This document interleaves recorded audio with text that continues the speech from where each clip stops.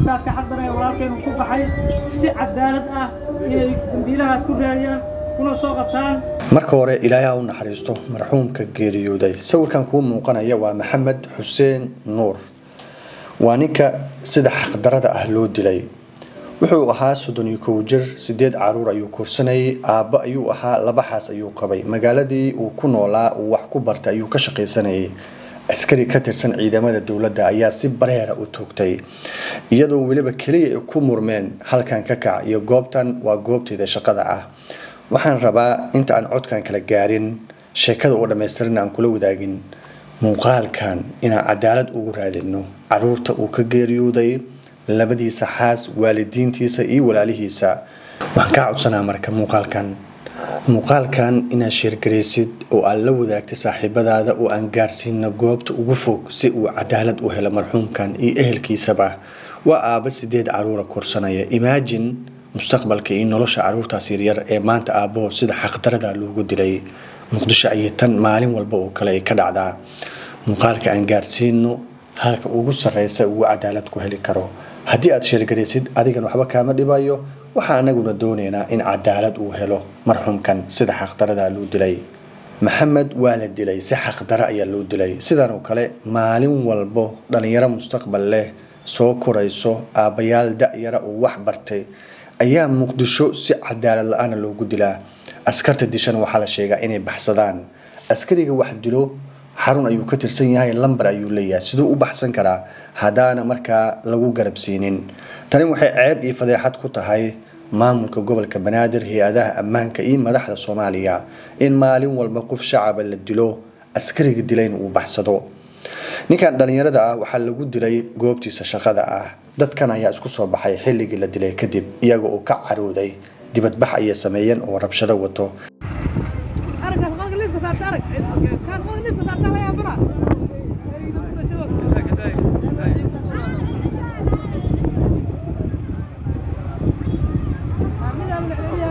sidaan oo kale askarta dishay ninkan dhalinyarada ah. Goobtan waxaa u taala jakboonti maalin walba waxay ku qaataan lacaga baada darawalada gaadiidka mootooyinka wado. Si lamida baabuurta xamuulka ayay dhibaato ku hayaan. Keliya ma ahan dilkan ay geysteen. Qeybaha kala duwan ee bulshada ku dhaqan muqdisho ayay dhibaato ku hayaan. Haddana cid wax ka qabanaysa ma lahan. Mid ka mid a saaxiibadiisa iyo ehelkiisana ah ayaa iiga sheekeynaya marka maxamed qofka uu ahaa sida loo dilay cidda dishay iyo kiiskiisa hadda halka uu ku dambeeyo. Maxamed wiil walaalkii oo ahay warshada biyaha caafi ka shaqeeyo.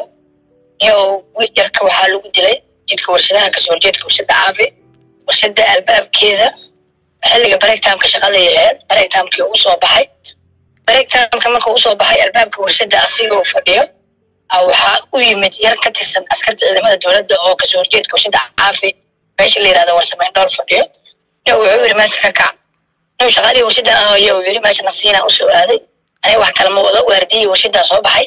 Waardiyiya wuxuu yiri nin aniga yarkan waa isnaqaanaa warshaduu ka shaqeeya wax barabale mana male saddexdooda marka ayagoo wada hadlaayana askari kale oo ka soo baxay kolbuwaardiyaha xabad wuxuu ka soo riday kolbuwaardiyaha askarigii soo soo socda uu u yimid saaxiibkii asigoona hubsan ayuu xabadii koowaad ku dhiftay warbaxa waardiya qayliyey waardiya maku qayliyena waardiya xabad kale waa ku dhiftay marka yarka saaxiibkii saasuu ku ruuxbaxay askarta dowladdaana dambishay si sharci darraana lagu dilo warshada albaabkeeda weliba iyo goobta qofka taqaana taqaano meesha waxaa la yidhahdaa warsamayn dhool waa meel dowladdii hore dhisma dowladdii hore warsamayn dhool la yidhahdo dhowr mar ay isku qabsadeen qolo maleeshiyaada iyo kuwa dowladda amniya ma sheegi karno askar badan dhowr mar isku qabsatay haddana jegmoonta dowladeed maahan haddana waxaa loo isticmaalaa qaab lagu dhibaateeya dadka shacabka ah ee waddada marayo. Baabuurta waaweyn oo xamuulka jidka qaado martana waa lagu dhibaateeyaa bajaajta galabtii markii la gaaro toban saac wixii ka dambeeyana waa lagu dhibaateeyaa xaafadda shacabka degana dhibaato weyn ay ku qabaan sida maanta aa ku aragteen banaanbaxyada socdo dadka xaafadii o dhan kacsan shucuurtii kacsan si ashaan darrahay dadka waa ula dhaqmaan. Haddana geeridaasaa dadku ku soo korartay dhaawacaas yarka warshada loo geystay oo weliba shaqaalihii warshada biyaha ahay dowladda soomaaliya waxaan ka codsanaynaa cadaalad gaar ahaan cadaaladda ragga shaqada kule oo wasiirka cadaaladda oo kuu ka yahayo cadaaladda baryahan la sheegayo haddii cadaalad jirto yarkan yar maskiin oo ahay oo xoogsataa oo ilmihiis u shaqaysto sideed caruura iyo laba xaasoo ka tegey cadaaladaan u baahannahay askarta dowladda way is yaqaanaa ninka waa nin diiwaan gashan.